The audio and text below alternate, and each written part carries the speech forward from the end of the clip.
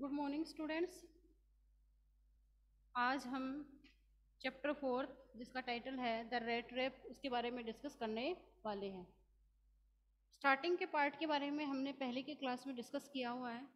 हमने इसकी स्टोरी के बारे में शॉर्ट में देखा भी था कि किस तरीके से एक फेरी वाला, एक चूहेदानी बेचने वाला पर्सन जो है, वो एक गुड मैन के रूप में कन्वर्ट हो जाता है। उस सब के बारे में हमने देखा था। तो देखिए, यहाँ पर हमने page number page number thirty seven जो है, वहाँ से हमें पढ़ना है इसको। तो यहाँ तक हमने डिस्कस किया था कि जो फेरी वाला है, उस ओल्ड मैन के, उस क्रॉफ्टर के, जो थर्टी क्रोनर के नोट हैं, वो अपने पॉकेट में थ्रस्ट कर लेता है और डाल लेता है और हाईवे से ना जाकर, हाईवे वाले वे से ना जाकर के, बल्कि वो फॉरेस्ट के अंदर वाले वे से जाना चाहता है और उस फॉरेस्ट में वो एक तरीके से खो जाता है लॉस्ट हो जाता है। और वो सोचता है कि मैं भी अब इस बिग रेड ट्रैप ये जो पूरा वर्ल्ड एक बिग रेड ट्रैप है, उसमें ट्रैप्ड हो चुका हूँ। इसी का रिज़ल्ट होता है कि जो है, वो फेरी वाला जो व्यक्ति होता है, वो उसके बाद में मतलब उस फॉरेस्ट में घूमता है घूम जाता है लॉस्ट हो जाता है। उसके बाद मतलब टायर्ड होने के कारण, थकान व भूख के कारण हंग्री होने के कारण, वो वहीं लेट जाता है और लेटते हुए उसे वहाँ पर ठक ठक की आवाज़ सुनाई देती है। हैमर की आवाज़ सुनाई देती है, जैसे हैमर के किसी चीज़ को थम्पिंग किया जा रहा हो। और जब ऐसा होता है तो उसी टाइम के दौरान जो है, वो अपनी जितनी भी करेज उसमें होती है, स्टेमिना होता है, उसको कलेक्ट करता है और खड़ा होता है और उसके बाद में जहाँ से वो साउंड आ रहा था, उस डायरेक्शन की तरफ़ चला जाता है। जब वो वहाँ पहुँचता है, उस साउंड की तरफ़ तो वो देखता है कि एक फैक्ट्री होती है, आयरन मिल जो होती है फैक्ट्री होती है और उस फैक्ट्री से ही, जैसे हैमर से, हथौड़े से किसी चीज़ को पीटा जा रहा हो, उसकी साउंड सुनाई देती है। तो वो उस फैक्ट्री के अंदर इंटर हो जाता है मौका देखकर और वहाँ एक फोर्ज जो होता है, यानी जो भट्टियाँ होती है बड़ी बड़ी आयरन को मेल्ट करने की, पिघलाने की भट्टियाँ, वहाँ जाकर एक भट्टी के पास वो लेट जाता है। जब वो वहाँ लेटा होता है तो ये कोइंसिडेंस मानिए कि उसी दिन उस फैक्ट्री का जो मालिक है आयरन मास्टर वो उस फैक्ट्री में घूमने आता है और जब वो वहाँ आता है तो उसी दौरान जो है, उस भट्टी से वो फ्लेम्स जो हैं, जो लपटे हैं, वो उसके फेस पे गिरती हैं और जो आयरन मास्टर है फैक्ट्री का मालिक है, वो उसे अपना ओल्ड रेजिमेंटल कॉमरेड समझ लेता है कि आर्मी का मेरा पुराना फ्रेंड है। बाई मिस्टेक वो उसे समझ लेता है और वो उसे रिक्वेस्ट करने लगता है कि तुम इस हालत में कैसे, तुम मेरे साथ मेरे घर चलो। फिर उसके बाद में वो उसे मना कर देता कि नहीं, मैं तुम्हारे घर नहीं चल सकता। फिर उसके बाद आगे की बात को एक्सप्लेन करते हुए वो कहता है page number from page number thirty seven में स्टार्टिंग से देखिए। No I couldn't think of it he said looking quite alarmed उसने पहली बात तो ये कि उसने थर्टी क्रोनर के नोट चुरा करके अपने पॉकेट में डाल रखे हैं। तो वो डरा डरा हुआ है अपने आप में कि हो सकता है कि पुलिस मुझे अरेस्ट कर लेगी। तो वो कहता है कि नहीं, मैं तुम, मैं ऐसा नहीं सोचता कि मुझे तुम्हारे साथ चलना चाहिए। लुकिंग क्वाइट अलार्म यानी बहुत ही ज़्यादा। पूरी तरीके से कम्प्लीटली वो अलार्म नज़र आता है, चौकन्ना नज़र आता है कि नहीं, मैं तुम्हारे साथ नहीं चल सकता। He thought of the thirty kroner फिर उसे थर्टी क्रोनर की याद आती है, जो उसने अपने पॉकेट में चोरी करके डाल रखे थे। To go up to the manor house would be like throwing himself voluntarily into the lion's den अब देखिए वॉलेंट्री यानी विलिंग से, अपनी इच्छा से। अगर मैं इस मैनर के घर चला गया, इस बड़े व्यक्ति के घर, इस वेल्दी व्यक्ति के घर या इस सामंत के घर में चला गया तो अपने आप को एक लॉइन की डैन में डालना, शेर की गुफा में डालने के बराबर मेरे लिए ये होगा। He only wanted a chance to sleep here in the forge वह चाहता है कि सिर्फ़ मुझे एक चांस मिल जाए, यहाँ इस लोहे की भट्टी के पास, इस फर्नेस के फर्नेस में मैं रहूँ, एक, सिर्फ़ एक रात के लिए वो वहाँ शेल्टर लेना चाहता है। And then sneak away as inconspicuously as possible तो फिर वो कहता है कि उसके बाद जितना, जैसे ही पॉसिबल होगा, बिना किसी को बताए, बिना किसी को मतलब बिना किसी को दिखे हुए इंटर जैसे मैंने इंटर किया था, उसी तरीके से मैं यहाँ से निकल जाऊँगा। The iron master assumed that he, और आयरन मास्टर ने ये अनुमान लगाया, ऐसा गैस किया, उसने सरमाइज किया कि वह अपने आप को एम्परेचर डिस्टर्ब फील कर रहा होगा। क्यों? Because of his miserable clothing क्योंकि उसने फटे पुराने रैक्स पहन रखे थे, उसके जो कपड़े थे क्लॉथ थे, वो चिथड़ों के रूप में थे रैक्स में थे, इसी वजह से वो सोचता है कि शायद ही अपने आप को डिस्टर्ब फील कर रहा होगा कि मैं इसके साथ जाऊँगा, इस मैनर के घर, और मेरे कपड़े कितने रैक्स हैं पठे पुराने हैं। Think that I have such a fine home that you can not show yourself there he said अब आयरन मास्टर उससे कहता है, उस फेरी वाले से, कि प्लीज़ ऐसा मत सोचो that I have such a fine home कि मेरे पास एक बहुत अच्छा घर है that you can not show yourself there और तुम्हें वहाँ मेरे घर में किसी और को अपने आप को दिखाना होगा। यानी तुम किसी और के सामने अपने आप को रिप्रेजेंट करोगे, ऐसा मत सोचो। Elizabeth is dead as you may already have heard Elizabeth जो आयरन मास्टर आयरन मास्टर की वाइफ थी, उसके बारे में बताता है कि एलिजाबैथ की पहले ही डेथ हो चुकी है, जैसा कि तुमने पहले सुना होगा।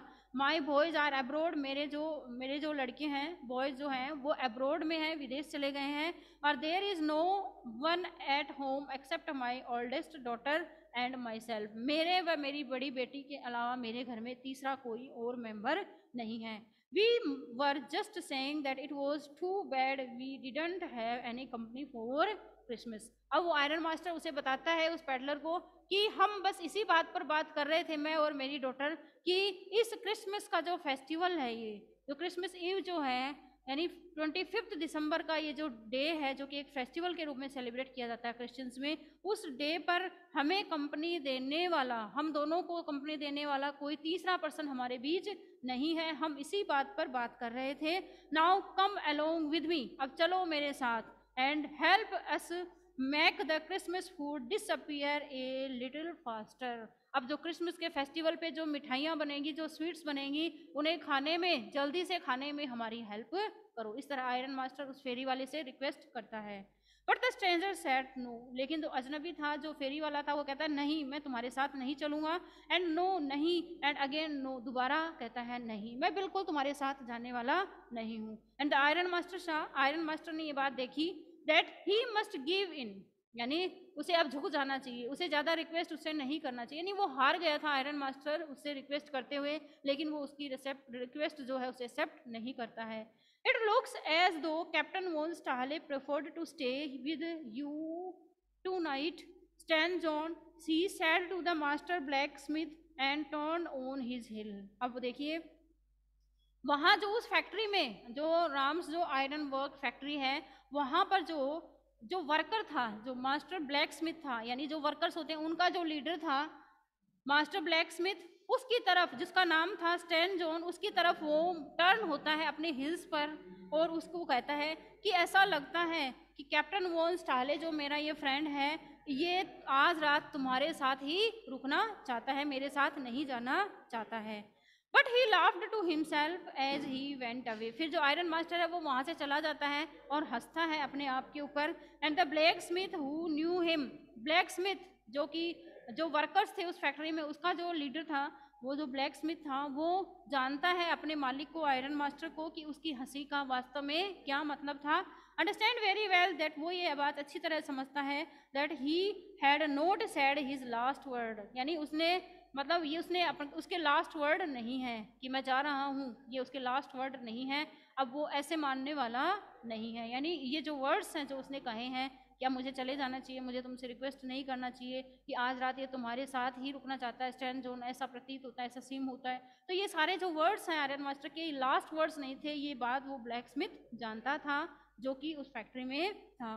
It was not more than half an hour यानी आधा एक घंटा भी नहीं हुआ था before the heard the sound of carriage wheels और फिर कैरेज जो है, गाड़ी जो है कार्ट जो है, उसके व्हील्स के चलने का जो साउंड है, वो उन्हें सुनाई देता है आउटसाइड द फोर्ज उस भट्टी से बाहर, यानी उस फैक्ट्री से बाहर जो है साउंड सुनाई देता है उन्हें कैरिज का कैरिज के व्हील्स का, पहियों का। And a new guest came in फिर एक नया मेहमान अंदर आता है। But this time it was not the iron master लेकिन इस टाइम वो आयरन मास्टर नहीं था। He had sent his daughter उस आयरन मास्टर ने अपनी डॉटर को भेजा था। अपेरेंटली होपिंग दैट और वो क्लियरली अपेरेंटली क्लियरली वो ये है, उम्मीद कर रहा था एक्सपेक्ट कर रहा था that she would have better powers of persuasion than he himself अब देखिए परसुएशन वर्ड आया परसुएशन का मतलब होता है मेकिंग समवन कम राउंड यानी किसी को भी राज़ी कर लेना, किसी को भी मना लेना, तुरंत तो कहता है कि आयरन मास्टर जो है, ये बात मानता था और वो ये बात एक्सपेक्ट करता है क्लियरली बिल्कुल कि उसकी जो डॉटर है, उसके पास बेटर पावर ऑफ़ परसुएशन है। यानी किसी को भी राज़ी कर लेना या मना लेने की कला उससे ज़्यादा है, ऐसा आयरन मास्टर मानता था, इसलिए वो अपनी डॉटर को वहाँ उस फैक्ट्री में भेजता है। जो आयरन एडला विलियमसन थी, उसकी जो डॉटर थी, वो इंटर करती है अंदर फैक्ट्री में and followed by a valet valet का मतलब होता है पर्सनल सर्वेंट एक पर्सनल सर्वेंट उसके साथ होता है carrying on his arm a big fur coat एक बड़ा सा मखमल का कोट जो है फर का कोट है, वो उस सर्वेंट ने अपने हाथ पर रख रखा है।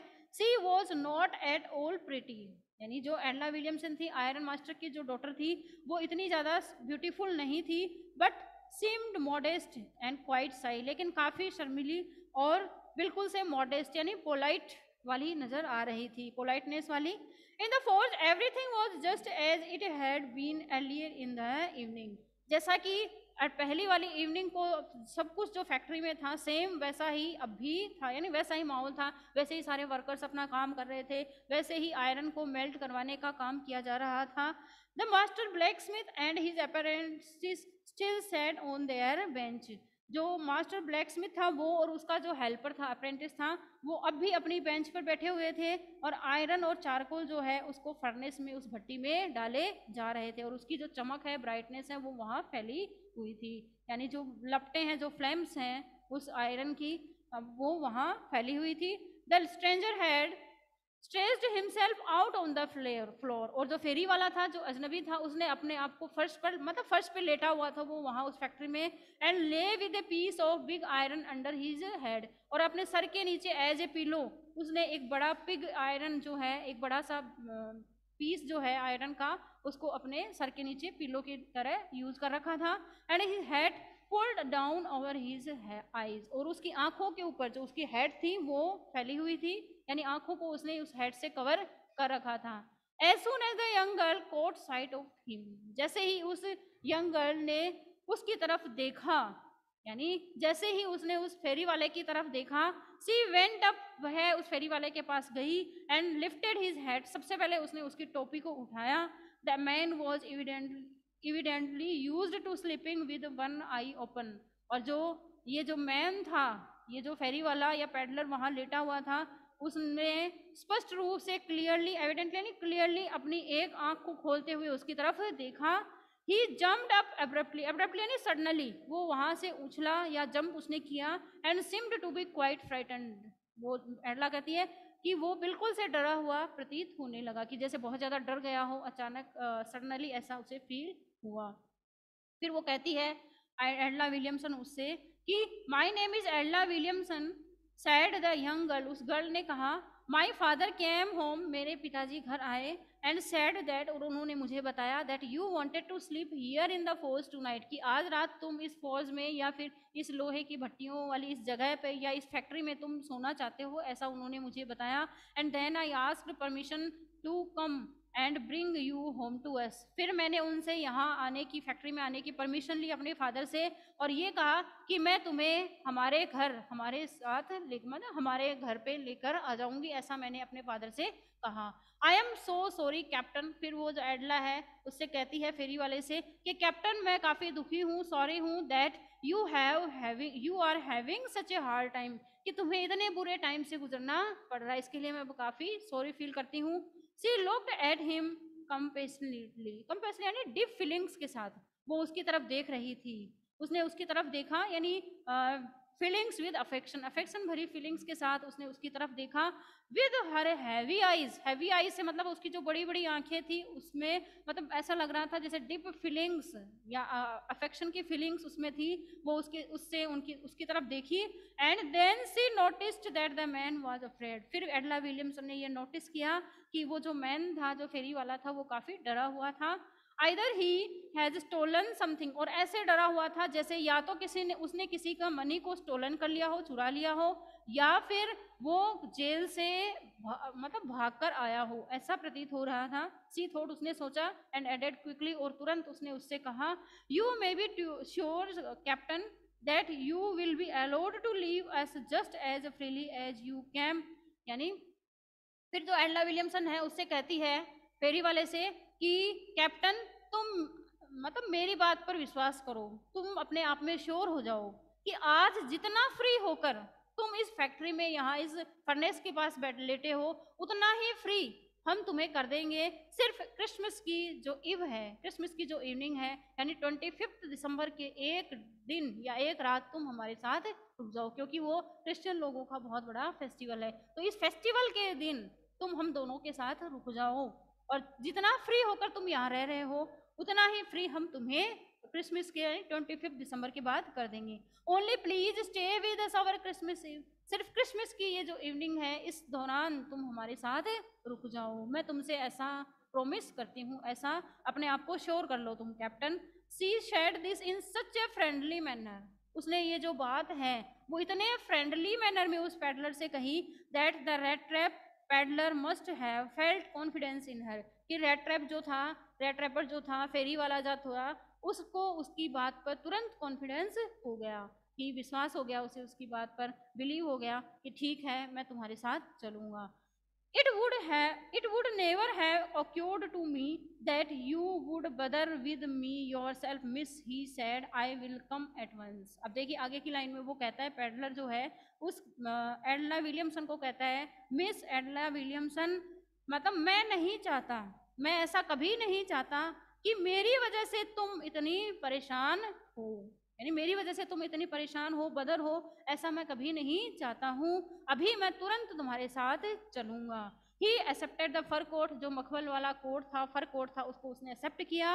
Which the valet handed him with a deep bow, और जो वैलेट जो था उसके साथ जो पर्सनल सर्वेंट था, वो मतलब डिप बो उसने किया, थोड़ा झुकते हुए, नीचे तक वो झुका, बड़े रेस्पेक्ट के साथ उसने वो वैलेट जो है सॉरी वो फर वाला कोट उसे हैंडओवर किया, और उसके बाद में उसने फेडलर ने वो जो कोट था अपने रैक्स पर पहन लिया, यानी जो पठे पुराने चिथड़ों के रूप में उसने जो कपड़े पहन रखे थे डर्टी क्लोथ पहन रखे थे, उनके ऊपर उस फर कोट को उसने तुरंत खींचा और पहन लिया and followed the young lady out of the carriage फिर वो उस फैक्ट्री में से होते हुए उस एल्ला विलियमसन के पीछे पीछे चल दिया। Without granting the astonished blacksmith so much as a glance अब देखिए, आगे की लाइन वो कहती है कि जो ब्लैक स्मिथ जो था, जो स्टैन जोन जिसका नाम बताया था अभी थोड़ी टाइम पहले, कि जो काफ़ी एस्टोनिस्ट था स्टंड था सरप्राइज़ था, उसकी तरफ़ देखे बिना ही एक ग्लैंस यानी एक झलक उसकी तरफ़ देखे बिना ही, वो सीधा स्ट्रेट उस गर्ल की तरफ़ पीछे पीछे चल दिया उसकी कैरिज की तरफ़, उसकी गाड़ी की तरफ़। But while he was riding up to the manor house he had evil forebodings अब देखिए, लेकिन जैसा ही, जैसे ही वो कैरीज पर राइड करके, बैठ करके, उस गाड़ी पर बैठ करके मैनर के घर पहुँचा, उस आयरन मास्टर के घर पहुँचा तो उसे ऐसा लगा जैसे कि कुछ अनिष्ट होने वाला है, कुछ बुरी फीलिंग्स इविल फीलिंग्स उसके माइंड में आती है। अनिष्ट की आशंका उसे होती है। डाउट्स होते हैं कि कुछ बुरा होने वाला है मेरे साथ, ऐसा उसे लगता है। Why the devil did I take that fellow's money he thought वह सोचता है? यानी जो थर्टी क्रोनर के नोट जो उसने ओल्ड मैन के चुराए थे, उस हट में से, उस कॉटेज में से तो कहता है कि क्यों मैंने वो जो मनी थी, जो डेविल जो था, ये थर्टी क्रोनर के नोट जो हैं, वो उसे डेविल की तरह नज़र आते हैं, एक राक्षस की तरह या जाइंट की तरह नज़र आते हैं कि वो डेविल की तरह या वो दैत्याकार जो थर्टी क्रोनर के नोट थे, मैंने क्यों चुराए? उस मैन के, उस ओल्ड मैन के now I am sitting in the trap अब मैं इस जाल में बैठा हुआ हूँ and will never get out of it और इस जाल से, इस चूहेदानी से मैं कभी बाहर नहीं निकल पाऊँगा। वो कहने का मतलब है, मैं भी अब ये जो वर्ल्ड के लग्जरियस आइटम्स हैं, इनके लालच में, इनके बेटर में या की तरफ़ मैं टेम्पटेड हो चुका हूँ, लालायित हो चुका हूँ और मैं इसमें बुरी तरह फंस चुका हूँ। अब मैं इससे बाहर निकलने वाला नहीं हूँ। The next day was Christmas Eve और अगले दिन जो था क्रिसमस आ जाता है ट्वेंटी फिफ्थ दिसंबर होता है। And when the iron master came in to the dining room for breakfast फिर जो आयरन मास्टर है वो ब्रेकफास्ट के लिए डाइनिंग रूम में आता है। He probably thought with satisfaction of his old regimental comrade he, whom he had run across so unexpectedly फिर वो जो है आयरन मास्टर जो है वो वो शायद परहैप्स जो है, वो सोचता है, काफ़ी सेटिस्फेक्शन अपने आप में कंटेंटमेंट फील करता है सेटिस्फेक्शन फील करता है, अपने आप में संतुष्टि फील करता है कि जो उसका जो ओल्ड रेजिमेंटल कॉमरेड था, आखिरकार वो मेरे, मुझे मिल ही गया। रन एक्रॉस यानी मिल जाना। वो मुझे संयोग से मिल ही गया, जिसकी कि मैंने कभी उम्मीद नहीं करी थी एक्सपेक्ट नहीं किया था। First of all we must see to it that he gets a little flesh on his bones he said to his daughter who was busy at the table कहने का मतलब है कि जो आयरन मास्टर था, था डाइनिंग रूम में breakfast कर रहा था और वो कैसा था? बूसी यानी जो अपनी जो busy at the table iron master जो था वो हट्टा कट्टा था और वो काफ़ी हेल्दी था और वो डाइनिंग टेबल पर बैठकर ब्रेकफास्ट कर रहा था तो वो अपनी डॉटर को बताते हुए कहता है इशारा करते हुए कि सबसे पहले तो हमें ये देखना है कि ये जो आयरन मास्टर है ये जो फेरी वाला है इसकी जो ये बोन्स हैं, जो दुबली पतली हड्डियाँ हैं, इनके ऊपर थोड़ा फ्लैश आ जाए, थोड़ा मतलब मांस आ जाए या थोड़ा मोटापा इस पर आ जाए। तो सबसे पहले इसकी जो दुबली पतली हड्डियाँ हैं, इन्हें हमें स्ट्रॉन्ग करना है, ये हमें ध्यान रखना चाहिए। And then we must see that he get something else to do than to round to run round the country selling rat traps और फिर हम दूसरी बार आगे जो बात सोचेंगे, वो ये सोचेंगे कि ये जो दूर तक ये जो चूहेदानी बेचता हुआ घूमता है, इसके बारे में सोचेंगे। यानी इसे कोई दूसरा जॉब दिला देंगे। मतलब चूहेदानी ये जो बेचता है, एक जगह से दूसरी जगह डोर टू डोर इसको हम इस काम को छुड़वा कर इसे दूसरा वर्क या जॉब दिला देंगे, इसके बारे में सोचेंगे। It is clear that things have gone downhill with him as badly as that said the daughter उसकी जो डॉटर है एडला विलियमसन है, वह कहती है, ये देखो कितनी अजीब बात है क्लियर यानी अजीब बात है, कितनी अजीब बात है कि परिस्थितियाँ सरकमस्टेंसेज जो हैं, कितनी बू, कितनी बैडली तरीके से अफेक्टेड हो सकती हैं? यानी परिस्थितियाँ कहाँ तक हमें ले जा सकती हैं बुरी परिस्थितियाँ? देखो कि मतलब कैसे हालात हो सकते हैं, कैसी कंडीशंस हो सकती हैं? Last night I didn't think that there was anything about him to show that he had once been an educated man फिर वो जो गर्ल है एल्डा विलियमसन है, वो कहती है कि पिछली रात जब मैं उसे वहाँ लेने गई थी तो मुझे इस बात पर बिलीव ही नहीं हो रहा था किसी भी एंगल से कि ये कोई एक एजुकेटेड मैन होगा या नहीं होगा। ये एक एजुकेटेड मैन है, ऐसा मुझे बिलीव ही नहीं हो रहा था। You must have patience my little girl said the father iron master है, उसने कहा कि मेरी छोटी प्यारी बच्ची, तुम थोड़ा पेशेंस रखो अपने आप में। As soon as he gets clean and dressed up जैसे ही वो बिल्कुल साफ़ सुथरा हो जाएगा और न्यू क्लॉथिंग पहन लेगा, नए कपड़े पहन लेगा you will see something different तो तुम्हें बहुत अलग लगेगा। Last night he was naturally impressed फिर वो उससे बताता है सॉरी कि पिछली रात जो है, वो काफ़ी डिस्टर्ब था, काफ़ी एम्प्रेस्ड था। The tramp manners will fall away from him with the tramp clothes अब आगे की लाइन में आयरन मास्टर उससे कहता है अपनी डॉटर से कि ट्रैम्प यानी वो व्यक्ति जो वेगाबोंड होता है, घुमक्कड़ जाति का होता है, घूमता रहता है एक जगह से दूसरी जगह पे, वो कहता है कि ये जो यानी जो ट्रैम्प, जो वेगाबोंड मैनर्स हैं, यानी इन क्लोथिंग को, ये उसने जो घुमक्कड़ जाति के, ये जो घुमंतु जाति के जो क्लोथ्स पहन रखे हैं, कपड़े पहन रखे हैं, इसके क्लोथ्स जो हैं वो रैक्स हैं, इसी वजह से इसके जो मैनर्स हैं, वो भी एक घुमंतु जाति के व्यक्ति की तरह ही दिखाई दे रहे थे। Just as he said this the door open जैसा ही उसने ये बात कही, उतने में ही दरवाज़ा खुला एंड द स्ट्रेंजर इंटर्ड फिर उस अजनबी ने या उस फेरी वाले ने अंदर इंटर किया। Yes now he was truly clean and well dressed हाँ अब देखो ये बिल्कुल साफ़ सुथरा और इसने नए कपड़े पहन रखे हैं। The valet had bathed him जो पर्सनल सर्वेंट था, उसने उसे नहलाया, बात करवाया कट हिज हेयर उसके बाल कट किए हैं एंड सेव्ड हिम और उसकी सेविंग करी। Moreover, he was dressed in a good-looking suit of clothes which belonged to the iron master. और आयरन मास्टर के जो सूट थे सूट क्लॉथिंग जो थी उसके जो सूट थे वो उसने उसे पहनने को दे दिए थे और वो काफ़ी अच्छी गुड लुकिंग वो दे रहा था उन क्लोथ्स में ही वोर ए वाइट शर्ट उसने एक वाइट शर्ट पहनी थी एंड ए स्टार्स कॉलर और एक स्टार्च वाली कॉलर यानी कलप लगी हुई जो कॉलर होती है वो पहनी थी एंड वो शूज़ और लंबे शूज़ पहने हुए थे but although his guest was now so well groomed अब जो उसका जो दोस्त था या जो गेस्ट जो था फेरी वाला था, जो था, काफ़ी सजा धजा हुआ, एक दूल्हे की तरह नज़र आ रहा था उन क्लोथ्स में। The iron master didn't seem please जब वो सजे धजे हुए, अपने फ्रेंड को देखकर आयरन मास्टर जो है वो खुश नहीं होता है प्लीज़ नहीं होता है। ही लुक एट हिम वह उसकी तरफ़ देखता है विद पकड़ ब्रो पकड़ ब्रो का मतलब होता है जैसे कि रिंकल्ड जो झुरियों वाली जो आईब्रोज होती हैं, वो बनाई, यानी थोड़ा गुस्सा करते हुए, वो उसकी तरफ़ ऐसे इस तरीके से मतलब अपने आईब्रोज है, उनको ऊपर करते हुए और इनमें थोड़ी सलवटे डालते हुए रिंकल्ड करते हुए वो उसकी तरफ़ देखता है। And it was easy to understand और ये बात समझना बिल्कुल ईजी थी that when he had be he seen the strange fellow in the uncertain reflection from the furnace यानी फर्नेस यानी जो लोहे की भट्टी थी और फोल जो थी उसमें जो लपटे आ रही थी उसकी जो फ्लेम्स आ रही थी उनकी वजह से जो अनसर्टेन रिफ्लेक्शन था उसकी वजह से उसने उस व्यक्ति को अपना फ्रेंड समझ लिया था। ये बात बिल्कुल ये समझना बिल्कुल ईजी था।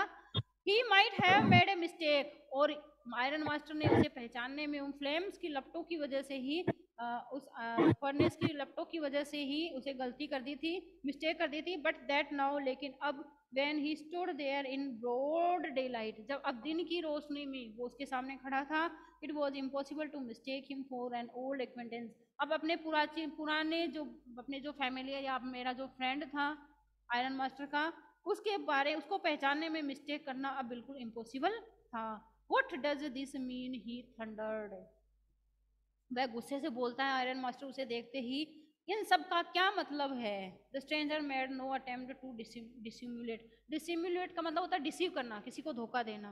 कि जो अजनबी था, उसका कोई मतलब नहीं, को, वो किसी को धोखा देना नहीं चाहता था। ही सा एडवांस उसने तुरंत देखा the splendour had come to an end कि जो ये प्रतिभा थी, ये जो समृद्धिशालिता थी, या स्प्लेंडरनेस जो था, वो तुरंत एंड होने वाला था। यानी जो बड़ा भवन था, वो क्या उदाहरण था ना, मिट्टी मिट्टी धसने वाली थी, ऐसा उसे प्रतीत होता है। यानी जो आयरन मास्टर सॉरी ये जो पैडलर जो था फेरी वाला, उस घर में आ गया था और उसका पर्दाफाश हो गया था, ऐसा प्रतीत उसे होता है। और ये बात जो पैडलर है, वो समझ जाता है। एटवंस तुरंत it is not my fault sir he said वह कहता है, श्रीमान, इसमें मेरी कोई गलती नहीं थी। I never pretend to be anything but a poor trader trader यानी एक गरीब जो है, फेरी वाले के अलावा एक गरीब व्यापारी चूहे दाने बेचने के काम के अलावा मैंने कभी अपने आप को दूसरा, दूसरी फॉर्म में नहीं दिखाया है। एंड आई प्लीडेड मैंने आपसे रिक्वेस्ट करी थी, याचना करी थी एंड बैग्ड और रिक्वेस्ट करी थी to be allowed to stay in the forge कि मुझे यहीं इस भट्टी में रहने दिया जाए, इस फैक्ट्री में ही रहने दिया जाए। सिर्फ़ मुझे एक रात की शरण चाहिए थी शेल्टर चाहिए थी but no harm has been done लेकिन मैंने तुम्हारा कुछ नहीं बिगाड़ा है, मैंने तुम्हें, तुम्हारे साथ कुछ गलत नहीं किया है. At worst I can put on my rags again and go away अगर तुम बुरा ना मानो तो मैं अपने पुराने, उन फटे पुराने कपड़ों को वापस पहन लूँ और यहाँ से चला जाऊँ. Well said the iron master iron master ने कहा हेजिटेटिंग ए लिटिल थोड़ा हिचकिचाहट करते हुए अच्छा it was not quite honest either इसका मतलब तो तुम ज़्यादा ऑनेस्ट भी नहीं हो, तुम ईमानदार भी नहीं हो। यू मस्ट एडमिट दैट तुम्हें ये बात स्वीकार करनी चाहिए। And I should not be surprise मैं आश्चर्यचकित नहीं होऊँगा। If the sheriff would like to have something to stay in the matter यदि इस मैटर में, इस मामले में शेरिफ का मतलब होता है एन ऑफिसर ऑफिसर जो है, अधिकारी हैं, वो तुम्हें अरेस्ट कर लें और ले जाएँ। इस मामले में मैं तुम्हारा फेवर भी नहीं लूँगा और मैं सरप्राइज़ नहीं होऊँगा। The tramp look took a step forward जो ट्रैम्प है, जो वेगाबोंड है, जो फेरी वाला है, वो थोड़ा सा एक स्टेप आगे की तरफ़ लेता है and struck the table with his fist और उस अपनी मुट्ठी से, अपनी फिस्ट से टेबल पर इस तरीके से मारता है कि ये क्या हो गया। मतलब मेरी जो असलियत थी, मेरी जो रियलिटी थी, वो सबके सामने आ चुकी है। Now I am going to tell you master mister iron master how things are he said अब फेडरर जो है, वो उससे कहता है कि श्रीमान आयरन मास्टर मैं तुम्हें बताना जा रहा हूँ अब की जो चीज़ें हैं वो कैसे चेंज होती है। यानी मैं तुम्हें बताने जा रहा हूँ उन चीज़ों के बारे में थिंग्स के बारे में। वो कहता है आयरन सॉरी आयरन मास्टर से कहता है फेरी वाला this whole world is nothing ये जो पूरी दुनिया है वो कुछ नहीं है सिर्फ़ एक बड़ी सी चूहेदानी एक बिग रेड ट्रैप है। All the good things that are offered to you are nothing यानी ये जो बड़ी गुड uh, थिंग्स है जो कि तुम्हें ऑफ़र करी जाती है इस वर्ड के द्वारा वो कुछ नहीं है बट सिर्फ़ चीज़ रिंस रिंस का मतलब होता है ऊपर अपर लेयर जो होती है। यानी जो सिर्फ़, वो सिर्फ़ पनीर की चीज़ की ऊपरी लेयर है एंड बाइट्स ऑफ़ पोर्क और बोर्क यानी पिग मीट जो है, उसके बाइट्स हैं ये और कुछ नहीं है। Set out to drag a poor fellow into trouble और इसी वजह से, इन सारी चीज़ों की वजह से ही तुमने एक गरीब व्यक्ति को क्या कर दिया? इन टू ट्रबल परेशानी में डाल दिया है। यानी मुझे तुम अपने साथ ले आए हो। और तुमने क्या कर दिया? मुझे बुरा बना दिया है और मुझे भी इस जाल में फंसा दिया है। And if the sheriff comes now यदि अब अधिकारी आ जाए ऑफिसर आ जाएगा and locks me up for this then you और मुझे पकड़कर ले जाएगा या मुझे अरेस्ट कर लेगा, फिर तुम, mister iron master must remember याद रखना दैट ए डे में कम एक दिन ऐसा आएगा when you yourself went want to get a big piece of pork कि जब तुम खुद एक बड़े से pig of piece of pork में, यानी पिग मीट का जो एक बड़ा सा पीस है, उसमें फंस जाओगे and then you will get caught in the trap और फिर तुम इस जाल में हमेशा के लिए पकड़े जाओगे। The iron master began to laugh जब पैडलर वाला या फेरी वाला इस तरह की बात आयरन मास्टर से कहता है तो आयरन मास्टर जो है, वो हंसना शुरू कर देता है। That was not so badly sir said my good fellow iron master उससे कहता है कि मेरे प्यारे दोस्त, ऐसा इतना बुरे दिन मेरे नहीं आने वाले हैं। Perhaps we should let the sheriff alone in Christmas Eve यानी ये जो क्रिसमस का फेस्टिवल है या ये जो इवनिंग है, इस यानी ट्वेंटी फिफ्थ दिसंबर है। इस दिन पर तो हम इस ऑफिसर को अकेला छोड़ देते हैं। बट नाउ यानी इस ऑफिसर की बात छोड़ो। यानी ट्वेंटी फिफ्थ दिसंबर की ईद तक, इस फेस्टिवल तक। But now get out of here as fast as you can लेकिन मेरी बात सुनो कि अब उसके बाद तुम इतनी जल्दी, यानी क्रिसमस की बात छोड़ो या उस शरीफ की ऑफिसर की बात छोड़ो, लेकिन अब जितनी जल्दी हो सके तुम यहाँ से रवाना हो जाओ। ये बात आयरन मास्टर पैडलर से कहता है फेरी वाले से कहता है। But just as the man was opening the door लेकिन जैसे ही वह फेरी वाला या पैडलर जो है, वो दरवाज़ा खोलता है द डॉटर सेड उसकी जो डॉटर है, वो उससे कहती है आयरन मास्टर की डॉटर उससे कहती है I think he ought to stay with us tonight today यानी कम से कम ट्वेंटी फिफ्थ दिसंबर का या त्यौहार का या फेस्टिवल का दिन है। इस फेस्टिवल के दिन तो इसे हमारे साथ रुक ही जाना चाहिए। मैं ऐसा सोचती हूँ I don't want him to go मैं नहीं चाहती कि ये ट्वेंटी फिफ्थ दिसंबर, जो क्रिसमस ईव है, इस पर हमारे से दूर चला जाए। And with that she went and close the door इसीलिए वो जाती है, उठती है और दरवाज़ा जो है डोर जो है, उसे क्लोज कर देती है। What in the world are you doing said the father father जो है, वो उससे कहते हैं। आयरन मास्टर अपनी डॉटर से कहता है कि what in the world are you doing तुम क्या कर रही हो? यानी तुम ये सब कुछ क्यों कर रही हो? The daughter stood there quite embarrassed जो डॉटर है, जो एडला विलियमसन है, वो वहाँ बिल्कुल से परेशान या डिस्टर्ब सी खड़ी हो जाती है and hardly knew what to answer और जान नहीं पाती कि मैं क्या जवाब दूँ। दैट मॉर्निंग उस सुबह ही she had felt so happy यानी आज सुबह उसने कितनी हैप्पी फील किया था अपने आप को when she thought how home like and Christmasy Christmas Christmasy she was going to make things for the poor hungry wretch poor यानी गरीब सा, बेचारा हंगरी यानी भूखा रैच यानी ये जो दुष्ट व्यक्ति है, यानी ये जो दुष्ट व्यक्ति है, जो पुअर है, गरीब है, भूखा है इसको, इसके बारे में जानकर वो कितना, यानी कितना परिचित होम लाइक एक घर के मेंबर की तरह वो उसे लगा था। और क्रिसमस का एक गिफ्ट सा उसे लगा था। She was going to make things कि इस फेस्टिवल पर वो कितनी अच्छी प्यारी प्यारी चीज़ें इस पुअर हैंगरी रैच के लिए बनाएगी। उसे कितना, ये फील करके उसे कितना अच्छा लगा था। She could not get away from the idea all at once इस आइडिया को, इन आइडियाज़ को वह एक मिनट में तुरंत नहीं छोड़ देना चाहती थी। यानी उन आइडियाज़ को मतलब रियलिटी में लाना चाहती थी। उसके लिए वास्तव में उस क्रिसमस के फेस्टिवल पे कुछ अच्छा बनाने वाली थी। And that was why she had interceded for the vagabond और इसी वजह से जो ये जो पुराना वेगा बोन्ड था उसको, उसके ऊपर मतलब उसे दया आ रही थी, यही वजह थी। वो काफ़ी काइंडनेस नज़र आ रही थी। I am thinking of this stranger here said the young girl जो एडला विलियमसन है, वो अपने फादर से कहती है, मैं सोचती हूँ, सोच रही हूँ कि इस अजनबी को, इस पैरी वाले को अपने यहाँ रुक जाना चाहिए he walks and walks the whole years long अब देखिए वो, एल्डा विलियमसन है, वो कहती है कि वो चलता है चलता है, पूरे साल लंबी लंबी दूरियाँ पर, दूरियों पर चलता है। And there is probably not a single place in the world country और इस पूरी वर्ल्ड में, पूरे कंट्री में एक सिंगल जगह भी ऐसी नहीं है शायद वेयर ही इज़ वेलकम जहाँ की इसका वेलकम किया जाता है and can feel at home और घर की तरह इसके साथ ट्रीट किया जाता हो, ऐसी कोई भी जगह इस पूरे कंट्री में कहीं नहीं है। When your he returns he is chased away और जहाँ कहीं वो जाता है, इसे घर से बाहर भगा दिया जाता है। दरवाज़ा ही नहीं खोला जाता है, घर से भगा दिया जाता है। Always he is afraid of being arrested और हमेशा इसे डर रहता है, जैसे कि इसे किसी के द्वारा अरेस्ट कर लिया जाएगा। एंड क्रॉस एग्जामिन और उससे क्वेश्चन पूछे जाएँगे। इसे मतलब इन्वेस्टिगेशन किया जाएगा या इसे क्वेश्चन पूछे जाएँगे, इसे अरेस्ट कर लिया जाएगा, ऐसा एक अफ्रेड या डर इसमें रहता है।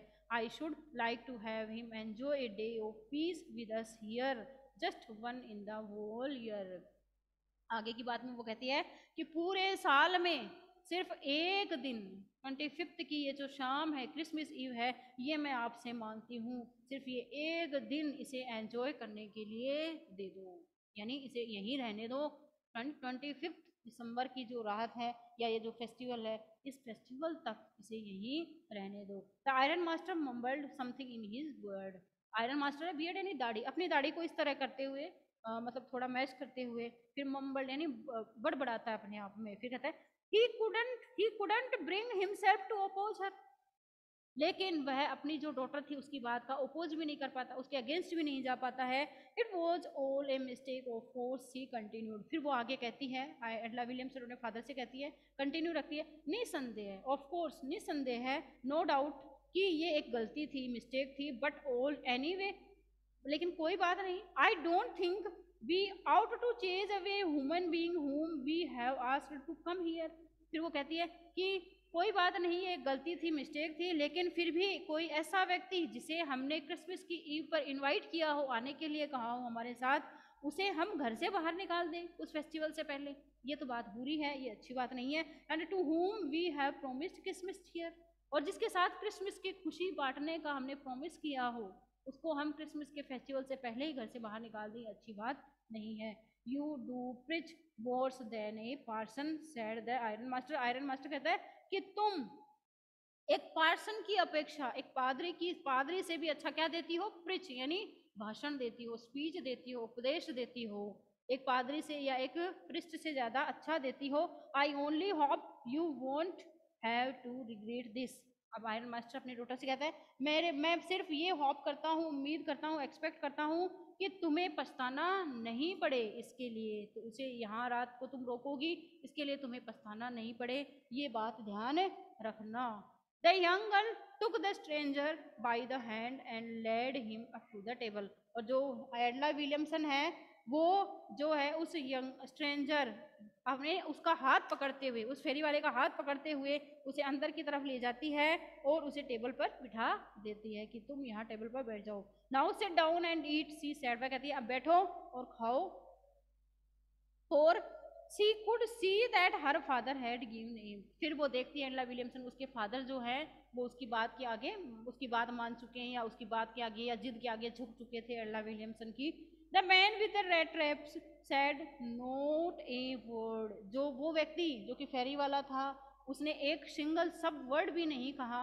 ही ओनली सेट डाउन वह बैठ गया and help himself to the to the food और वो खाना खाने लगा। Time after time he looked at the young girl बार बार वो जो एडला विलियमसन थी, उसकी तरफ़ वो देख रहा था। Who had interceded for him interceded वही किसी पर दया दिखाना काइंडनेस शो करना। जिसने कि उसके लिए दया दिखाई थी काइंडनेस शो किया था, वह उस गर्ल की तरफ़ देख रहा था। Why had she done it वो सोचता है क्वेश्चन करता है अपने आप से फेरी वाला। वो ये सब कुछ क्यों किया उसने? इस लड़की ने, इस गर्ल ने ऐसा क्यों किया? What could the crazy idea भी यानी इसके पीछे कौन सा डाउटफुल आइडिया है? क्या सस्पेक्ट चल रहा है? क्या डाउट है इसके पीछे? यानी क्या स्कीम है उसकी? उसने ऐसा क्यों किया? वो ऐसा क्यों चाहती है? कि मैं उसके यहाँ रुकूँ। आफ्टर दैट इसके बाद Christmas Eve at Ramsjo passed just as it always had और उसके बाद जो क्रिसमस की रात है, वो गुजर जाती है, शाम गुजर जाती है, ठीक वैसे ही जैसे कि हर साल गुजरती है।